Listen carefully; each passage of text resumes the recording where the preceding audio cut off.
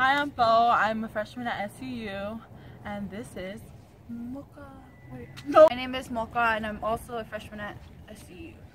Make sure you do your FAFSA. Because you get free money.